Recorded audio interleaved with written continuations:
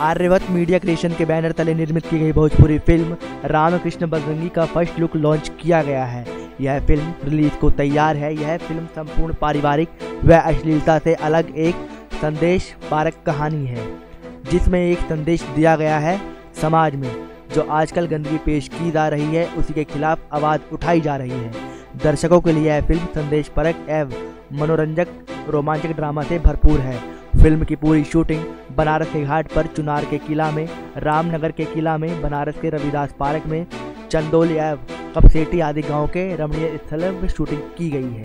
बता दें कि अभिनेत्री से निर्मात्री बनी इला पांडे इस फ़िल्म की निर्मात्री है। फ़िल्म का कुशल निर्देशन किया गया है। निर्देशक इतिहास शेख बंटी ने की है। कथा पटकथा असलम शेख ने लिखा है। संवाद राजेश पांडे ने लिखा है। संगीतकार धनंजय मिश्रा का है।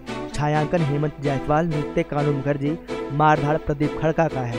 प्रोडक्शन मैनेजर सुधीर सिंह उजाला, कमल यादव है। विशेष सहयोग जाने, माने जाने वाले फ़िल्म निर्देशक असलम शेख हैं। मुख्य कलाकार में रितेश पांडे के साथ अलग ही अंदाज में दिखाई देंगे। राकेश मिश्रा, इम्तियाज़ असलम व प्रिंस सिंह राजपूत, वही उनका साथ देंगे संजय पांडे, ईला पांडे, अमृता पांडे, अविनाश शाही, संतोष पहलवान बीना सहाय अर्चना पाठक, सचिन श्रीवास्तव, राहुल राजपूत। संजीव मिश्रा व ब्रजेश त्रिपाठी हैं। इस फ़िल्म में पूनम दुबे का एक ज़बरदस्त अंदाज देखने को मिलेगा। नेक्स्ट नाइन, भोजपुरी से रोहित